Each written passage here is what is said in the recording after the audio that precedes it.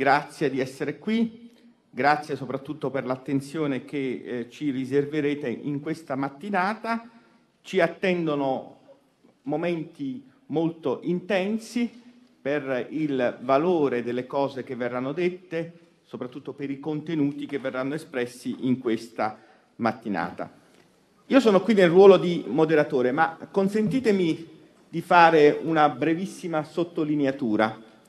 È con grande piacere che sono qui perché il mio lavoro di giornalista, di vice direttore del TG1, mi ha consentito negli anni di apprezzare il ruolo che nella società italiana svolgono gli assistenti sociali. Lo dico senza alcuna retorica e senza alcun compiacimento, ma lo dico con un'osservazione realistica e con una fotografia, con una constatazione.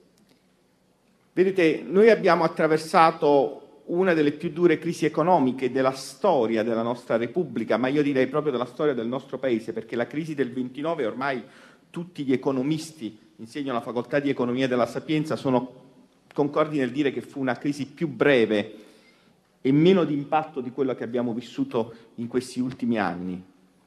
Circa sette anni di recessione in alcune aree del Paese, tre in altre aree del, del Paese.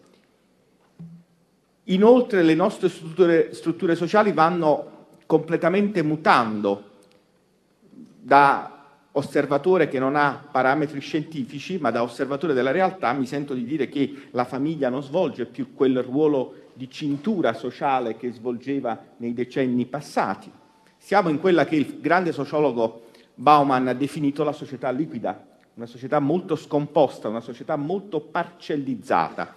E quindi in questo contesto avere punti di riferimento forti, chiari, evidenti, motivati e professionali soprattutto, come gli assistenti sociali, secondo me diventa un dato molto, molto rilevante. E su questo credo debbano poi riflettere anche chi ci governa, le autorità. Vedete, eh, si, io penso che un buon giornalista deve adottare un metodo aristotelico nell'approccio, cioè deve valutare la società dal basso. Gli accademici valutano la società dall'alto, con dei parametri scientifici, noi la società la interpretiamo e la valutiamo dal basso.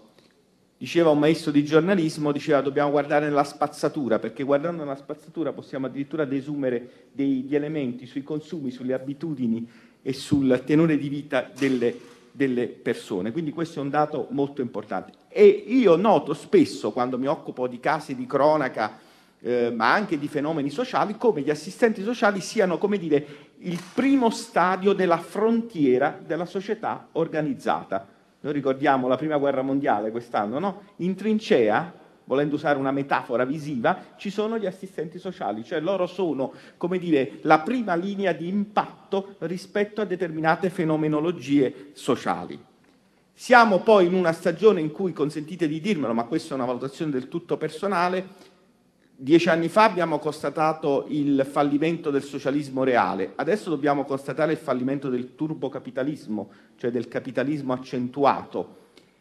Evidentemente l'alternativa è la costruzione di una società della solidarietà, di una società che riconosca il mercato ma che lo vada a mitigare con la solidarietà, con l'umanità, con la comprensione, perché altrimenti non ne usciamo. Anche perché e qui parla l'economista, badate bene, noi siamo in un'epoca in cui l'asse globale della ricchezza si è spostato verso l'Asia e l'Occidente non avrà più i livelli di ricchezza che aveva 10, 20, 30 anni fa. Questo è un dato oggettivo perché legittimamente 3 miliardi di individui che prima erano al di fuori del mercato, mi riferisco ai cinesi, agli indiani, indonesiani, malesiani, adesso sono nel mercato, vogliono essere protagonisti e quindi quella torta che prima si divideva per tre è una torta che adesso viene divisa per sei e quindi l'Occidente non tornerà mai più ai livelli di benessere del passato. E allora come può difendersi l'Occidente? Concependo una società weberiana, una società della solidarietà, dove evidentemente il ruolo, gli assistenti sociali diventano un nervo vitale in una costruzione di un progetto di questo tipo.